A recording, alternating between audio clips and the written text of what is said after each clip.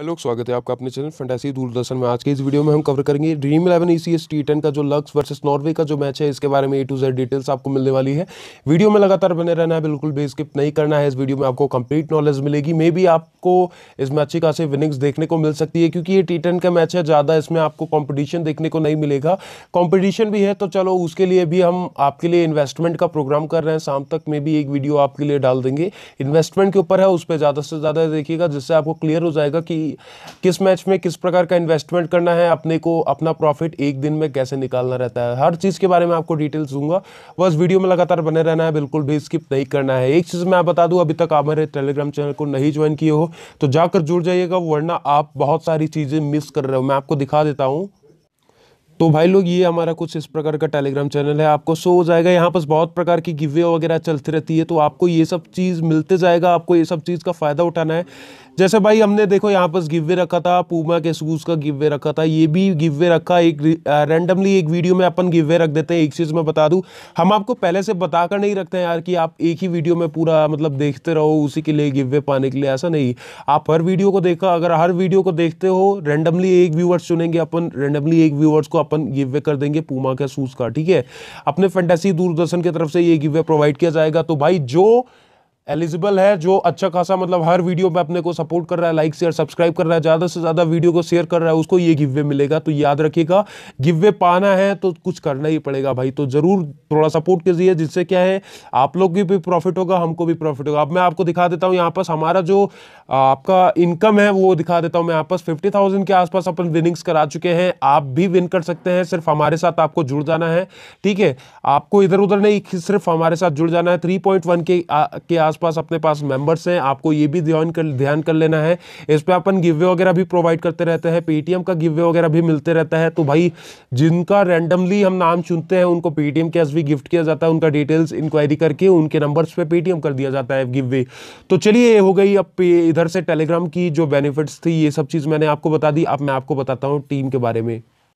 जैसा कि आप लोग को पता ही ये मैच टी टेन का है। टी टेन के मैच में आपको एक चीज़ पता ही होगा टी टेन के मैच में आपको एक चीज़ पता ही होगा कि टी टेन का मैच ज़्यादा ओवर का होता नहीं है, सिर्फ़ दस ओवर का होता है। दस ओवर के मैच में अगर टॉप ऑर्डर चल गया तो मिडिल ऑर्डर के बैट्समैन को बैटिंग करने का मौका नहीं मिलता है। ये चीज़ आपको क्लियर हो गया। ठीक है, ये चीज़ मैंने क्लियर कर दिया। अब एक चीज़ मैं बता दूँ, अगर बॉलर्स एक से लेकर पाँच तक चल गए तो फिर उसके बाद समझ लीजिए सिक्स सेवन्थ एट्थ जो बॉलर आते हैं ना, उनको चांस मिलना मुश्किल ही नहीं, नामुमकिन हो जाता है। तो ये भी आपको ध्यान रखना है, ठीक है? ये दो चीज़ आपको माइंड में सेट कर लेना है दोनों टीम्स की तरफ़ से। अगर टॉप ऑर्डर लगता है आपको चलेगा तो ही आप ट्राई कीजिएगा, वरना आप मत ट्राई कीजिएगा। बाकी मिडिल ऑर्डर के बैट्समैन के साथ जाना है आपको। अगर ज़्यादा हो गया तो देखो टॉप ऑर्डर चल गया तो मिडिल ऑर्डर नहीं चलेगा। अगर टॉप ऑर्डर नहीं चला तो मिडिल ऑर्डर ही चलेगा। बस आपको ये चीज़ दिमाग में रखे कॉम्बिनेशन टीम बनानी है। जैसे कि मैंने पिछले मैच का टीम दिया था आपको। कॉम्बिनेशन टीम में भाई। एक बार लगाओगे वन साइडेड विन होगा जीएल या फिर एसएल जीएल में लगाते हो तो या फिर सब टीम आपकी डूब जाएगी, या फिर सब टीम आपकी विन कर जाएगी। तो ये याद रखिएगा विन होगा तो वन साइडेड होगा, सीधा वन लाख का प्रॉफिट आएगा, और लॉस होगा तो जितना लगाया हो सिर्फ़ उतना ही लॉस होगा। विन का लिमिट है लॉस का अनलिमिटेड है। लॉस अनलिमिटेड है क्योंकि जितना आप, अगर देखो आप लालच करोगे तो लॉस होते जाएगा। थोड़ा सा इन्वेस्टमेंट का तरीका होता है, मैं आपको शाम को वीडियो अपलोड कर दूँगा, देख लीजिएगा। अभी फ़िलहाल इसके बारे में बात कर लेते हैं। मैं आपको दिखा देता हूँ विकेट कीपिंग सेक्शन से आपको चार ऑप्शन मिल जाएँगे। के अहमद मिल जाएँगे टी वाइटमैन मिल जाएँगे, इफ्तिकार मिल जाएँगे, फिर उसके बाद ए कुमार मिल जाते हैं। अब आपको किसको ट्राई करना है, किसको नहीं करना है, ये आपको बताना थोड़ा सा मुश्किल हो जाएगा, पता करना थोड़ा सा मुश्किल हो जाएगा बट हमारी वीडियो में आपको मैं बता देता हूँ। देखो ट्राई करना किसको है, आप दो चीज़ के बेस पे टीम बिल्कुल मत बनाइएगा, जो सब बनाते हैं। सिलेक्शन बेस और पॉइंट्स के बेस पे ज़्यादातर लोग टीम बनाते हैं, जिसके कारण उनका लॉस हो जाता है। बट मैं आपको रिकमेंड करूँगा, आपको प्लेयर्स के स्टैट्स के बेस पे टीम बनाना है किसका क्या रिकॉर्ड है, किसका क्या परफॉर्मेंस है, कौन कितने मैच चला है, कौन किस फ़ील्ड पे चलता है, कौन किस फ़ील्ड पे नहीं चलता है, ये सब चीज़ आपको जानना ज़रूरी है, जिससे क्या है, आप ग्रैंड लीग स्मॉल लीग दोनों जीत सकते हो। बिना स्किप किए वीडियो को देखेगा सब चीज़ मैं क्लियर करूँगा आपको। फैंटेसी दूरदर्शन हमारे चैनल का नाम है, ज़रूर से जुड़ जाइएगा टेलीग्राम पर जाकर, वहाँ आपको ढेर सारी अपडेट्स मिलेगी। अब इधर से बता देता हूँ यार अब देखो के अहमद आपको दिख जाएँगे खेलते हुए। फ़िलहाल दसवें नंबर पर भी बैटिंग करते दिख सकते हैं और तीसरे नंबर पर भी बैटिंग करने दिख सकते हैं आपको। दोनों में से एक अगर गुरी खेलते हैं, डब्लू खानी करके एक प्लेयर है, अगर वो खेलता है तो के अहमद के अहमद आपको दसवें नंबर पर मतलब सबसे नीचे बैटिंग करते हुए दिख जाएँगे। अगर डब्लू गुरी नहीं खेलता है तो के अहमद आपको थर्ड नंबर पर खेलते हुए दिख जाएँगे। तो ये चीज़ का ध्यान रखते हुए आपको ट्राई करना है। अब आपको मैं टी वाइटमैन के बारे में बता दूँ। टी वाइटमैन का क्या रिकॉर्ड है? इनका क्या मतलब कितने नंबर पे बैटिंग करने आते हैं? फ़िलहाल तो तीसरे नंबर पे ही बैटिंग करने आते हैं बट इनका भी कोई फिक्स नहीं है। अगर कोई न्यू प्लेयर आता है तो उनको इनकी जगह प्रमोट कर दिया जाता है और इनका बैटिंग ऑर्डर थोड़ा लो कर दिया जाता है।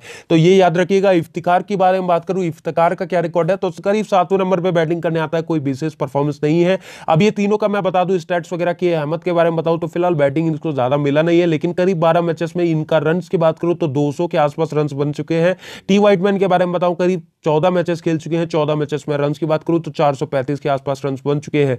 ऐसे इफ्तिकार का भी कोई रिकॉर्ड फाउंड नहीं है बट आप चाहे तो ट्राई कर सकते हो स्मॉल लीग के लिए, आपके लिए डिफरेंशियल पिक है। आपके लिए टॉप ऑर्डर का काम कर सकते हैं इजिली तरीके से, और नीचे आकर फिनिशिंग का काम करके जा सकते हैं अच्छा खासा स्कोर करके आपको दे सकते हैं।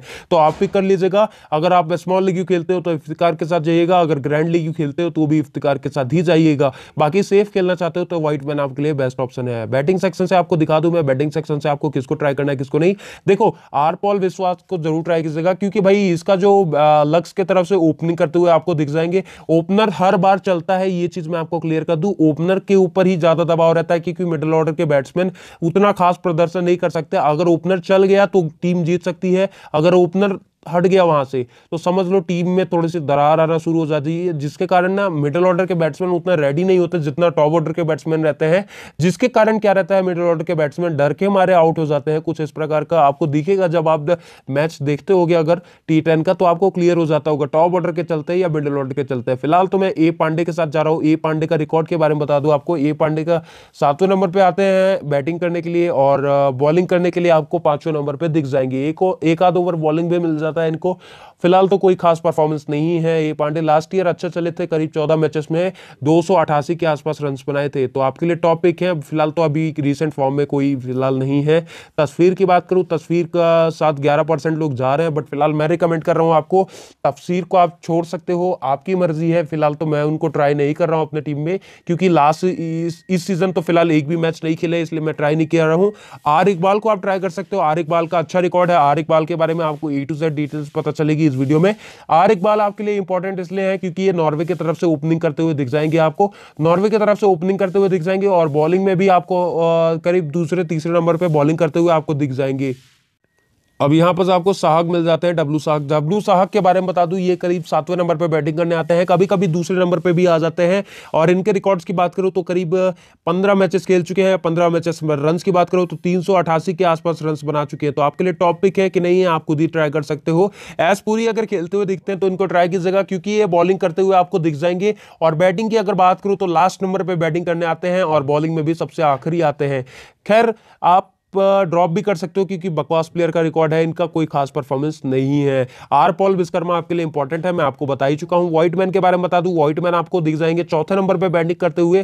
फ़िलहाल कोई बैटिंग ऑर्डर फिक्स नहीं रहता, इनका चेंजेस भी हो सकता है बैटिंग ऑर्डर में, कोई कंफर्म नहीं बोल सकता, लेकिन आप चाहे तो ट्राई कर सकते हो। बाकी इनके रिकॉर्ड्स की बात करूँ व्हाइट मैन का तो व्हाइट मैन का रिकॉर्ड अच्छा है, बारह मैचेस में करीब एक सौ पचहत्तर के आसपास रन बनाए हैं और एक दो बार विकेट लेने का असिस्ट भी किया है। तो ये कुछ इस प्रकार का इनका परफॉर्मेंस था। अभी मेरा सिलेक्शन इकबाल और साहक और इधर से आपका आर पॉल विश्वकर, विश्वकर्मा के साथ जा रहा है। आपकी चॉइस है, आप चाहे तो चेंज भी कर सकते हो या फिर किसी और प्लेयर के साथ भी जा सकते हो। अब आपको ऑलराउंडर सेक्शन से दिख दिख जाएँगे। इनका रिकॉर्ड की बात करूँ तो रिकॉर्ड खराब है पाँचवें नंबर पे बैटिंग करने आता है बट मिडिल ऑर्डर के बैट्समैन एक। अगर टॉप ऑर्डर चल जाता है तो मिडिल ऑर्डर के बैट्समैन को चांस नहीं मिलता है बट आपको बॉलिंग से भी पॉइंट दे सकते हैं। कभी कदार इनको बॉलिंग करने का मौका भी मिल जाता है, फ़िलहाल तो अभी नहीं मिला है इस सीरीज़ में बट लास्ट सीरीज़ में मिला था इनको बॉलिंग करने का मौका। करीब दो विकेट छटका गए थे, और रन की अगर बात करूँ तो तेरह मैचेस में पाँच तेरह मैचेस में माफ़ करिएगा, दो सौ बयालीस के आसपास रन था इनका।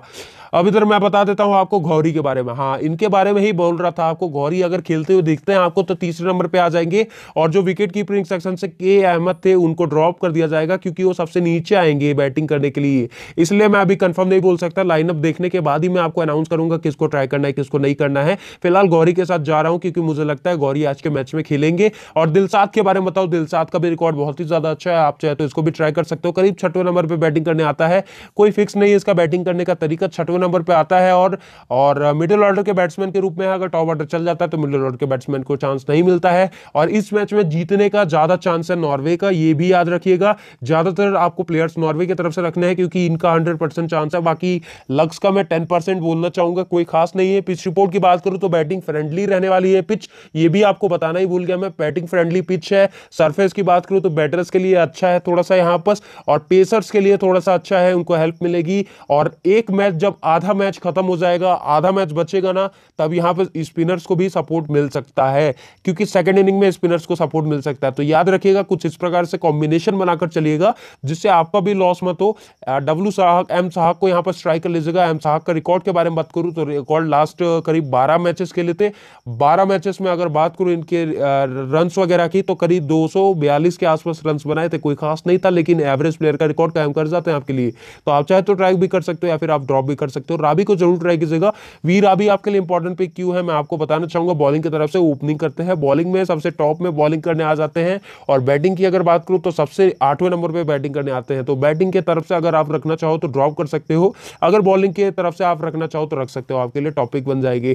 फ़िलहाल तो मैं इसी कॉम्बिनेशन के साथ जा रहा हूँ। बाकी तो मैं मार्टिन को रिकमेंड करूँगा आपको ट्राई करने को। मार्टिन का भी बहुत ही अच्छा रिकॉर्ड है। करीब दूसरे नंबर पर बैटिंग करते हुए आपको दिख जाएँगे लक्स की तरफ़ से। और इनका रिकॉर्ड की बात करूँ तो बॉलर के लिए बॉलर के लिए अगर आप रखना चाहो तो बकवास प्लेयर है। अगर बैटिंग सेक्शन से देखोगे तो आपके लिए टॉप प्लेयर है। तो बॉलिंग सेक्शन से मत रखिएगा, अगर बैटिंग सेक्शन से आप रखना चाहो, तीसरे नंबर पर दूसरे नंबर पर बैटिंग करने आते हैं, आपके लिए टॉप पिक है। तो फ़िलहाल मैं इधर से साहक को छोड़कर डब्लू साहा कोई फिक्स नहीं है। सेकंड नंबर पे भी बैटिंग करने आ जाते हैं। रवि का कोई फिक्स नहीं है। रवि को छोड़ो अभी।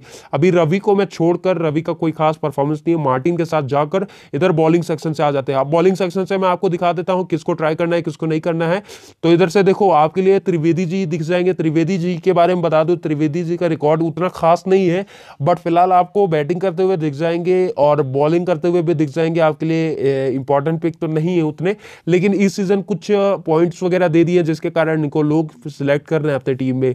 अभी तो फ़िलहाल मैं सिनवारी के साथ जा रहा हूँ। सिनवारी का अच्छा रिकॉर्ड है। लास्ट सीज़न भी अच्छे चले थे।